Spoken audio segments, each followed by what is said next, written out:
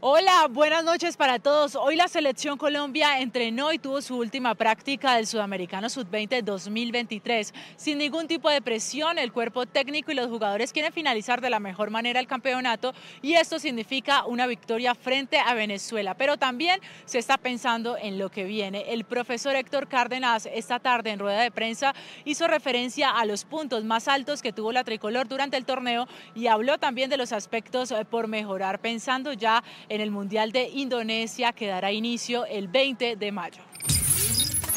Podemos hablar de la organización defensiva del equipo, cómo se ha comportado en los últimos juegos, eh, que ha intentado no solamente recuperar la pelota en campo del rival, hacer una presión siempre alta, y cuando no ha sido de esta manera, creo que el repliegue eh, ha sido una también de las fortalezas.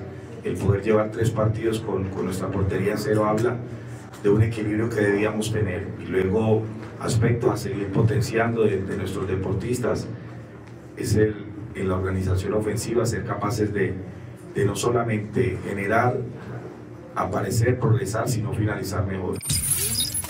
Venezuela, rival de Colombia, llega a esta última fecha del hexagonal clasificado parcialmente y depende de sí mismo para asegurar un cupo en el Mundial.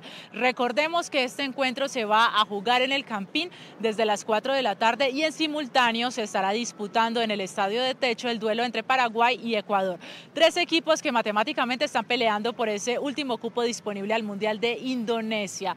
Mañana en la emisión de la 1 de la tarde nos vemos para hablar de la previa de Colombia, Venezuela y Brasil versus Uruguay, que va a definir el campeón de este Sudamericano Sub-20 doblete que se va a vivir aquí por la pantalla de Telepacífico. Una feliz noche para todos.